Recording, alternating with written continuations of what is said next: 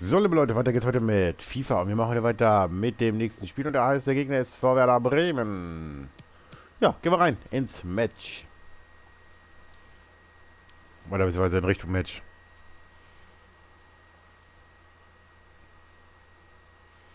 Hm, dauert gerade jetzt. Letztes Spiel, glaube ich, in Düsseldorf haben wir gewonnen. Und ja, das wollen wir heute natürlich wieder... Oh, die Truppe ist aber eingeschlagen. Ja, scheiße. Natürlich. Das heißt, ich darf rotieren. Dann in so einem wichtigen Spiel.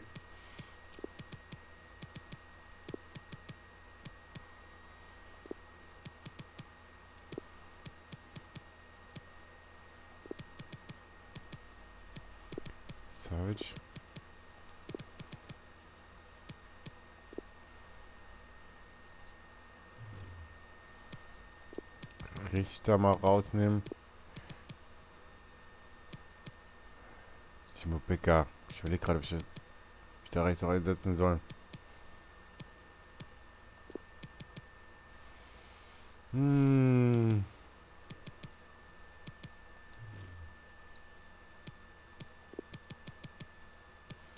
Ja, probieren wir es einfach. Wird schon. Ja, wir verkacken es richtig gegen Bremen. Wie wir auch gegen Hoffenheim vor einiger Zeit, aber jetzt, wenn wir jetzt mal gucken, dass wir Werder schlagen können.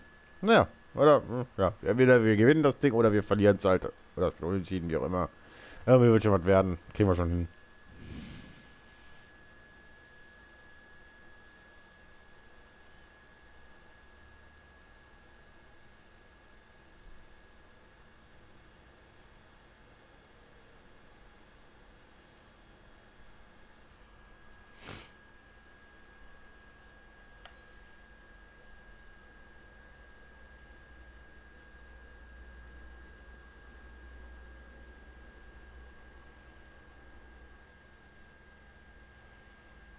So, auf geht's. Ins Match. Viele sind sehr gespannt, was Sebastian Rudi heute alles zeigen kann. Denn er steht hier vor dem Duell gegen seinen früheren Club. Richtig. Wir zeigen sie Ihnen. Übrigens auf der Seite ist mit Raschis auch nicht anders. Liebe Fußballfreunde, ich möchte Sie sehr herzlich begrüßen zu dieser Partie. Mein Name ist Vollfuß, neben mir sitzt Frank Buschmann. Wir werden Sie durch dieses Spiel begleiten. Und heute übertragen wir Ihnen aus der Bundesliga. Schalke 04 gegen Werder Bremen. Ein interessantes Ligaspiel natürlich Wolf. Das sind zwei Mannschaften, die sich heute zeigen wollen, die sich zeigen müssen. Die Fans haben eine hohe Erwartungshaltung. Es wurde in den letzten Tagen viel geredet. Denn für ihn ist es heute das erste Spiel gegen seinen früheren Club. Das ist mit Sicherheit keine einfache Aufgabe. Er kennt den Verein, er kennt die Fans. Kann er das alles hinten anstellen und sich auf seinen neuen Club konzentrieren? Glaube ich schon. So ist er eben als Fußballprofi. Vereinswechsel völlig normal. Vor dem Spiel, dem Spiel, da gibt es wahrscheinlich schon gemischte Gefühle, aber auf dem Rasen, nein, das sieht der Trainer ähnlich, denn er bringt es.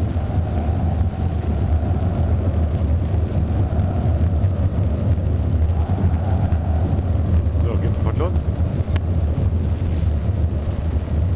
Geht so langsam in Richtung Winterpause. Da haben wir die Anfangsformation der Schalker. Die greifen heute zu einem offensiven Ja, ich muss halt durchwechseln, ne? Ja, wir wollen aber mit einem geballten Mittelfeld zum Erfolg kommen und viel Druck ausüben und äh, den Gegner beschützen. Auf geht's. Der FC Schalke 04 mit dem Anstoß Spielbeginn.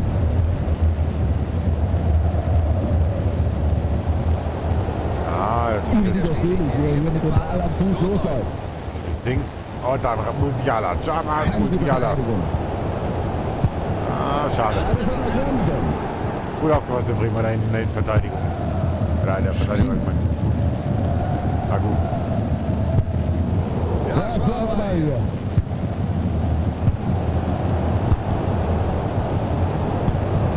Uh, das war Glück gehabt. Da haben die Schalker sehr schnell geschaltet, dass der Kobylanski da durchgehen wollte. Und, äh, aber die Bremer passen es drauf. Wenn alles so gefallen kurz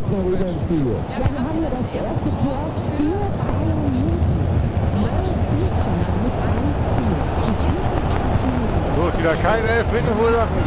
Oder so ist der Ball noch trotzdem drin. 1 für die Gäste hier. Eggestein.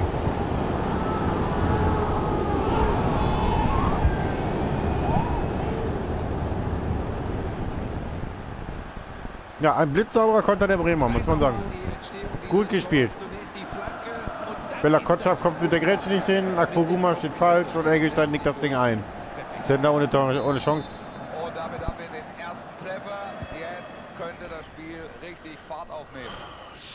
Hunziker. Ciao.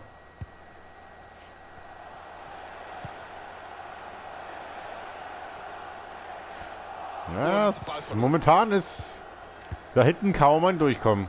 In der Volkswagen Arena ist was passiert, ein Tor ist gefallen. Alle Infos gibt es jetzt im Augustinsson. Wir haben hier das erste Der hat viel Tor zu viel Platz da außen. Neuer Spielstand damit 1 zu 0. Gespielt sind 13 Minuten. Interessante Info. Dankeschön dafür. Power jetzt über Rashica. Ein bisschen, Pla bisschen Platz auf der rechten Seite. Nicht viel, aber er hat ein bisschen Platz. Glück gehabt, dass der nämlich. Ah, dass der nicht raus war, aber dann kommt der Pass auch nicht an. Schönes Pressing jetzt. Augustinsson. Milos Veljkovic. Jetzt ist er durch.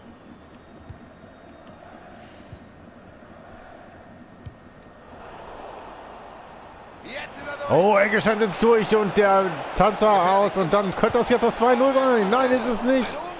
Er will es. Ja, Zentner war dran. Zentner war dran. Eine kurze Ecke. Jetzt die Flanke. Hab ihn. Erstmal. Ludwig Augustinsson. Ja, Bremen macht's genau richtig. Jetzt. Oh, da aber die Schalker kommen gar nicht nach vorne, weil die Bremer sofort auf Druck draufgehen. Da gehen. Keine Chance, überhaupt irgendwie in diesen in den Zweikampf zu kommen, in, den, in die Situation zu kommen.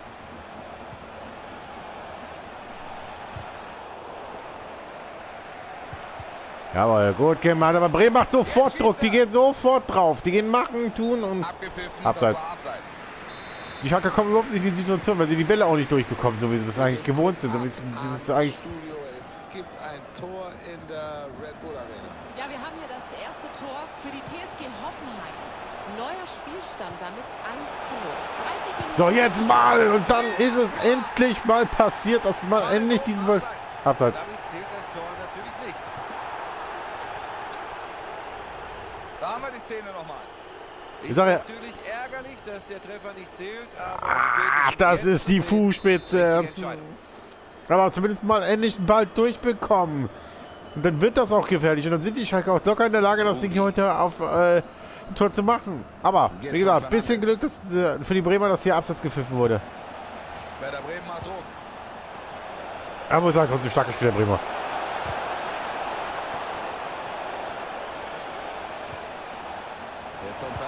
Jetzt hat haben wir es. Sehr gutes Technik. Weg damit. Musiala. Vielleicht jetzt mal. Dann kann jetzt. Wieder will er jetzt rechtzeitig spielen, dass er kein auf Abseits, nicht auf Abseits geht. Eine. Wieder Abseits. Ist, ist jetzt gerade abseits. Ja, gefällt mir gerade nicht. Äh, viel zu viele, ähm, momentan viel zu viele Abseitspositionen. Also zwei jetzt der Zahl, klar, aber. Mein A gefällt mir mein Spiel nicht und B läuft es gerade überhaupt nicht. Da verlieren sie den Ball. Schönes Ding, gut geholt da. Ball auf Kobylanski. Gegen Augustinsson. Die Flanke soll kommen, aber kommt nicht. Der lange Ball, das lange Bein von wäre Ecke. Ja, der hätte nämlich gepasst. Der wäre unten, der wäre unten drin gewesen im Eck. Die Ecke kommt rein. Weiter diese Szene. Immer noch Gefahr. Nächste Ecke. Kommt. gehen in den Strafraum. Guter Einsatz. Ball ist erstmal wieder weg. Zur Pause steht es 1 zu 0. Ein knapper Vorsprung, der für die zweite Hälfte alle Möglichkeiten offen lässt. Eine spannende Partie, wie ich finde, Puschi. Ihr habt ja schon das Gefühl, dass jedes Tor entscheidend sein könnte. Ja, ein Spiel Ja, zehnte Minute Engelstein. Die einzige Chance der Bremer wirklich genutzt. Sie hatten ein, zwei gute Situationen noch. Aber gucken, was in der zweiten Halbzeit noch passiert. Und jetzt geht's hier weiter. Ja, du verlierst gegen Hoffenheim, du verlierst jetzt gegen Bremen, äh, wenn du Pech hast. Es gab einen Elfmeter auf einem anderen Platz, deswegen mal kurz rüber. Aber wie gesagt, es sind noch 45 Minuten zu spielen. Kobylanski. Und Erling Holland hat ihn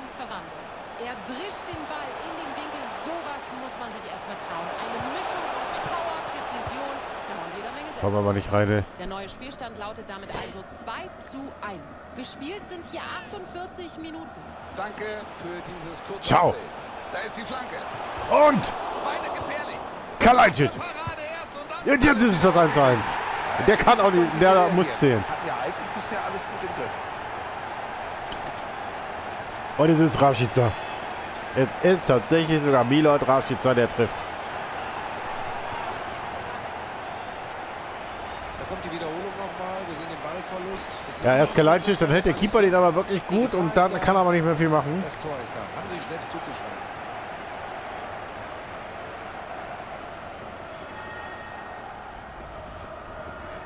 Tor Nummer 3 für hier Rashica. also den Ausgleich geschafft. 1-1. Das war die Hausaufgabe, eine Aufgabe gemacht. Irgendwie das Ding reingewirkt, wie auch immer. Wo ist der Motel gegen Ludewig? Ah, der kommt überhaupt nicht Vorstoß. Mit viel Auge Schönes Ding. Klasse.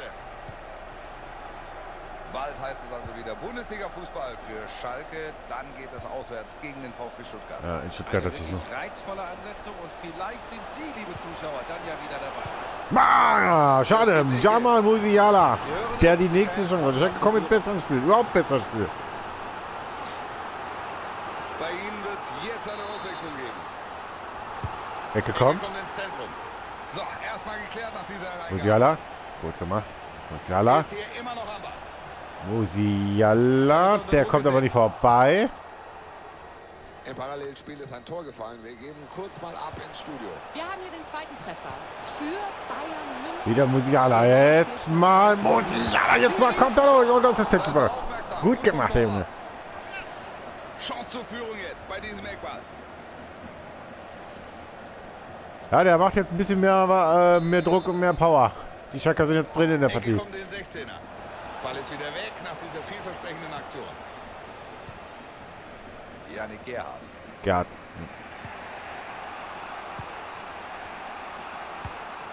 Die nächste Partie der Bremer steht an und gegen wen es geht, zeigt uns stark gemacht. Ecke, Abseits, oder? Für mich doch das. Nein, es ist kein Abseits, sagt der, sagt der Schiedsrichter. Was für eine Parade. Und Ballverlust. Schönes Zuspiel. Den Ah, jetzt kommt die Bremer wieder in der Partie. Noch ist die Chance da. Habt dich. Milot Rashica. Die Schalke-Fans sind da. Schönes Ding. Musiala. Ja, da kommt die Hereingabe. Ja, versuchen wir. Ja, hier, wir wollen hier natürlich dieses Ding nach Hause mitnehmen. Gewinnen.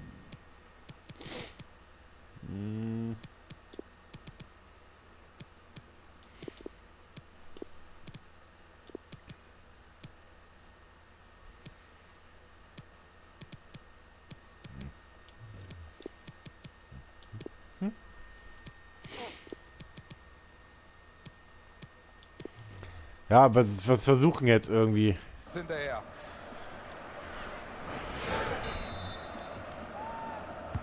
Ecke kommt rein. Ich weiß, dass die Jungs ein bisschen angeschlagen sind, aber da ist das Tor.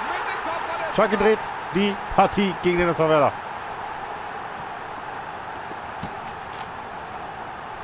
Und genau deswegen steht der, äh, steht der äh, Kalajdzic da vorne drin. 1,95 groß, den konnte der nur reinnicken. Die Ecke kam perfekt. Es war nicht die erste Ecke, die so gefährlich kommt. Aber passt. Treffer nochmal. Erst die Ecke und dann ist er stark. Unwiderstehlich, wie er da mit Setzt dem sich da durch, die Nummer geht. 4 Und dann ist der Treffer nicht mehr zu und verhindern. dann passt das Ding plötzlich.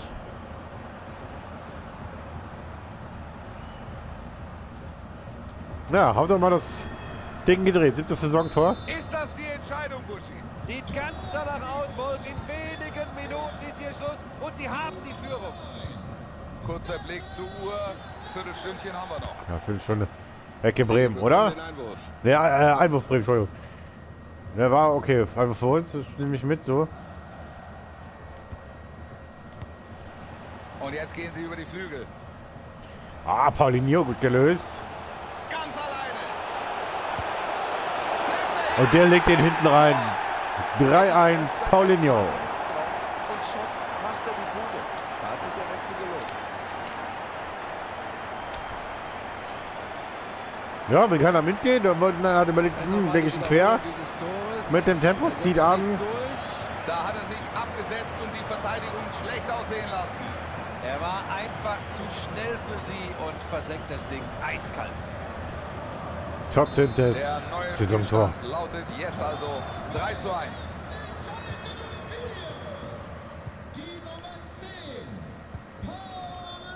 Aber man muss eigentlich sagen, dass die Bremer es wirklich gut gemacht haben. Die haben heute wirklich sehr gut gespielt, vor allem in der, ja, die ersten 60 Minuten. Und dann haben die Schalke einfach die Chancen bekommen und auch genutzt. Vorher haben sie sie nämlich nicht bekommen. Paulinho. Tempo, Tempo, Paulinho. So, erstmal geklärt nach dieser Hereingabe. Gibt eine Ecke. Jetzt kann er noch eine Ecke reinbringen. Ecke kommt in die Mitte. Was für eine Aktion. Glück gehabt. So gerade eben noch verhindern sie das Tor. Was für eine Rettungstat. Tau. Hallo Weg, den schicke ich gar nicht hinterher, der ist nicht platt. Platz. Latzer. Kopf. Kann auch nicht mitgehen. Kommt das Tempo nicht mit. Kann nur Jetzt zuziehen. Und. Die Bremer mit, einer super, mit einem super Konter nach der Schalker Ecke. Paulinho. Musiala. Das sieht vielversprechend aus. Da ist die Flanke. Musiala. Glück gehabt. Schön. Ah, schade. Hab dich. Und dann ist aus. 3-1 der Endstand. Die Schalker schlagen das vor Werder und Sie holen hier den knappen Sieg. Puh, Arbeitssieg. Ein mal mega Arbeitssieg. das war ein hartes Stück Arbeit. Bremer haben es gut gemacht. Respekt auf jeden Fall dahin.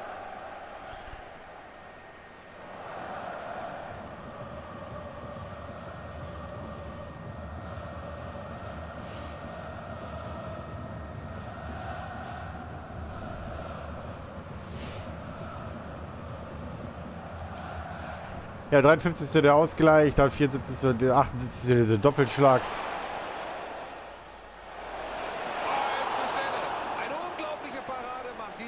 Ja, hier kann auch schon nach zunichte. 24 Minuten das 2-0 fallen und dann haben es die Schalker schwieriger. Eigentlich war hier der Ausgleich abseits. Natürlich. Aber ja, wir haben es geschafft. Wir haben die äh, Partie geschafft, also beziehungsweise erfolgreich geschafft. RB Leipzig, oh, RB Leipzig und Leaking Tiesgoffer 3 zu 0 zu 3. Ja, die Hoffenheim haben ja auch gegen uns schon gewonnen. So, mal kurz eine.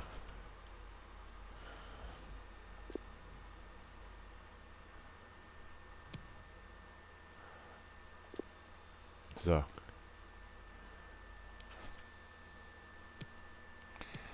Gut, dann würde ich sagen, machen wir mal Feierabend. Wir sehen uns in der nächsten Folge wieder und dann geht's weiter mit dem Auswärtsspiel in Stuttgart.